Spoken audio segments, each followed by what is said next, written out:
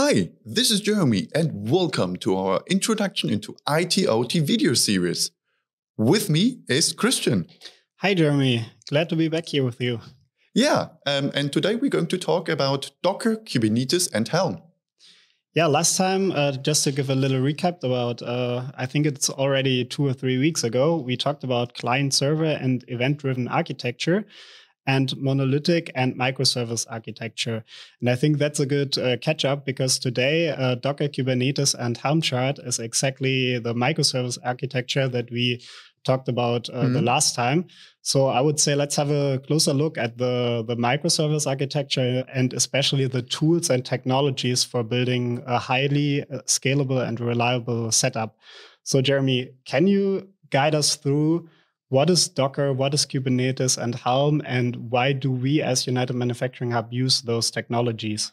Yeah, so let's start with, with Docker. Docker is the de facto standard to containerize software code into microservices.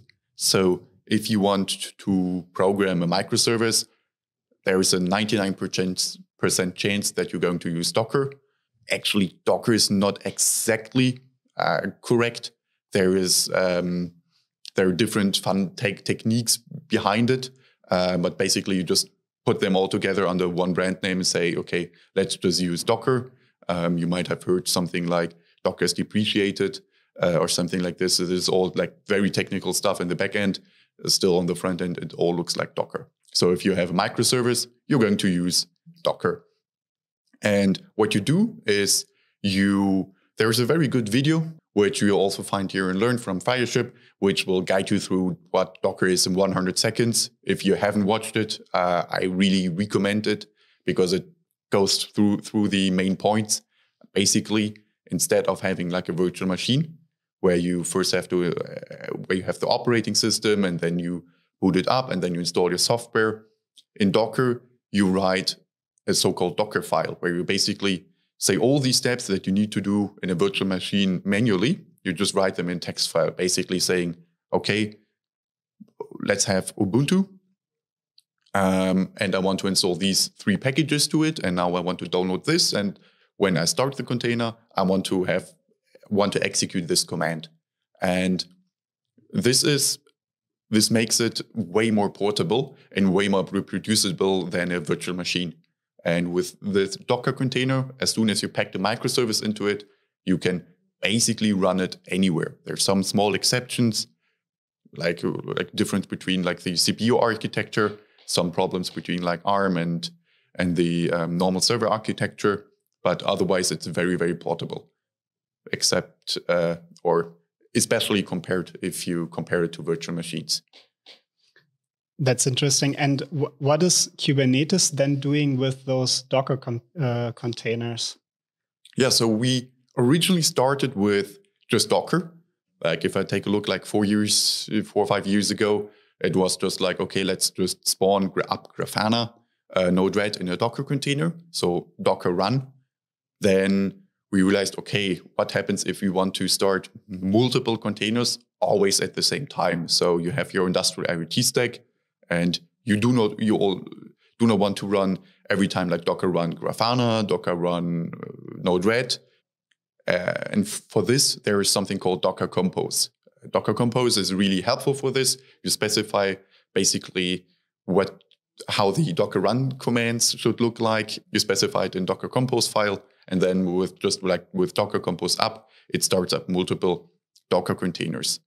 But even we, we went with this for like a like a year or one and a half. But then we also had some some issues there regarding um, complex configurations.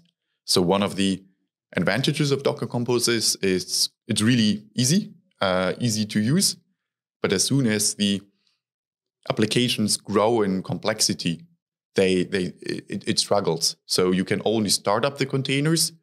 You can do stuff like if you have a file system, um, you can store configuration files there. It it works, but imagine now you want to start up like what we do in the United Manufacturing Hub. You have Grafana, you have Node-RED, you have a database, you have factoryinsight. You want to all start it up, and you want to auto generate secrets for it. So the database, every time you start up, it gets a different password, but the password is pre-configured in Grafana and other tools. This is something that Docker Compose really struggles with. And there we took a look at Kubernetes and Kubernetes together with, with Helm. We will get back to this later. Yeah, that would be my next question. Yeah. uh, th this fulfilled our, our needs because now we could specify complex, complex, let me scroll down to it. Now we can uh, specify like complex uh, scenarios, like pre-configure elements. Um, so this is like how a Kubernetes object looks like. If you're just listening this in audio, you can take a look uh, later on Learn or take a look at the YouTube video that we're going to publish. And now you can say, okay, I want to have this, this container with this tag. It kind of looks like Docker Compose, but now you can do even more complicated stuff. You can say, okay, I want to have it exposed to, I don't know, multiple ports. I want to have changing configuration variables. And this was the main reason why we used it. But the actual main reason why companies like it, so Kubernetes is like the operating system of, of the cloud. A lot of companies use it. All large, all large cloud providers use it, not only have a Kubernetes as a service offering, but they also run their internal workloads on Kubernetes. And the main reason why they do it is that they want to have features like auto scaling, high availability, etc. So we use it first for configuration to handle all these configuration options.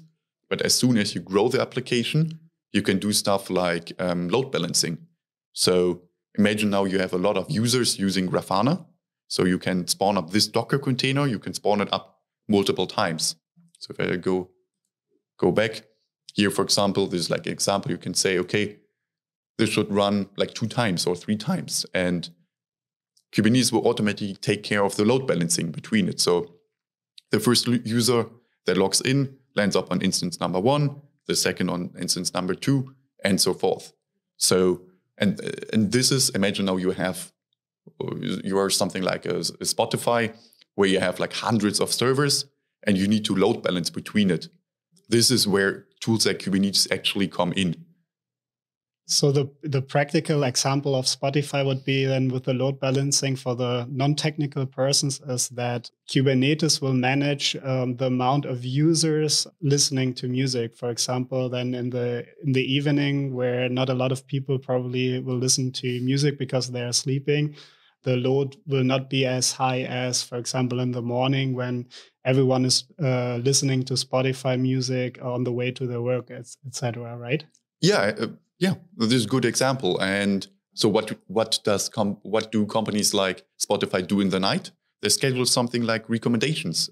So I think uh, now it's getting like end of the year. I think maybe you have already seen it in Spotify, like end of end of year. What what did you what did you listen to?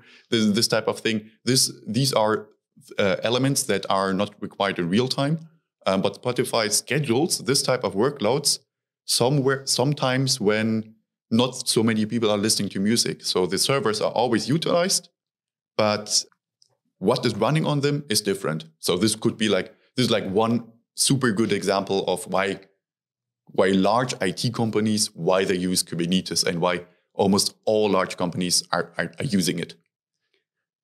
That's amazing. And how does Helm uh, comes into place when it comes to that? Yeah, Helm even helps you. It's now even in layer above uh, Kubernetes.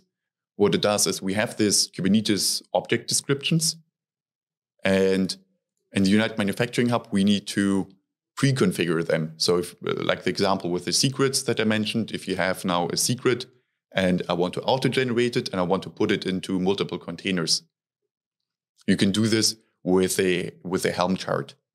Uh, in a Helm chart, you can use like it's like a template maybe it's like further down. Yeah this is how it would looks like.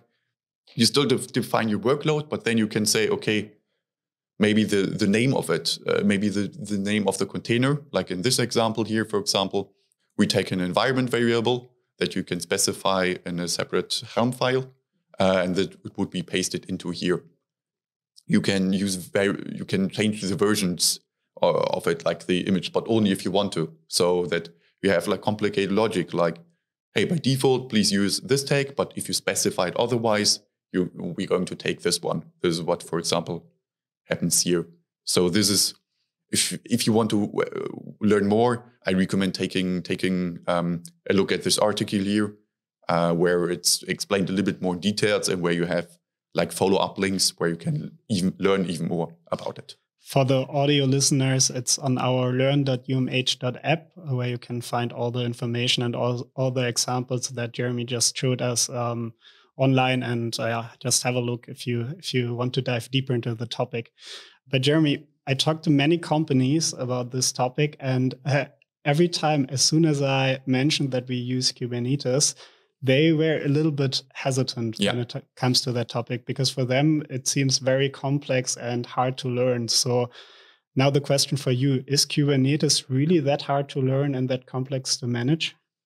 Yeah. So one of the jokes that you see on uh, uh, social media platforms like Reddit, where a lot of programmers hang out, is everyone who says that they understood Kubernetes haven't understood Kubernetes. It is actually a highly complex tool. However, it is complex because it can handle all the complexity that you have in highly in, very large IT applications. And most of the complexity comes because of that. Um, so you can really deep dive into all all specific elements. So if you want to spend a couple of weeks just to set up DNS in Kubernetes, you can do it. However, do you actually need to do it? Uh, I would say for most, especially for manufacturing companies who might have only like three to five servers per site, you probably you you don't need the full-fledged Kubernetes like K8s, but you can use something simpler like K3s. This is something that we, for example, in the United Manufacturing Hub recommend.